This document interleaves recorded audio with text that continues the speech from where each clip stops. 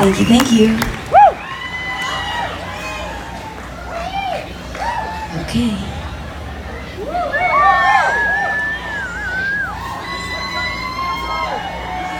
What a nice night, I just have to say. This is just gorgeous. Wow. Uh, did you guys ever go down to the Sokol Underground? You see a show there? Do you guys remember when you could smoke down there? Yeah. Those were the days, I suppose.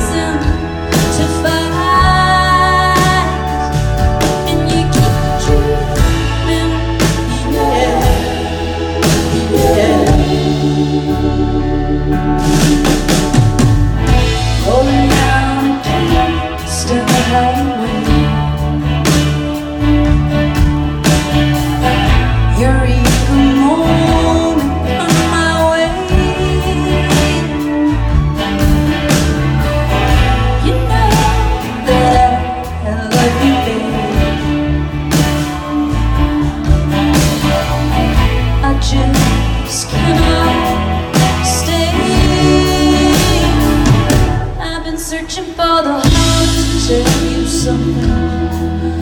I could get down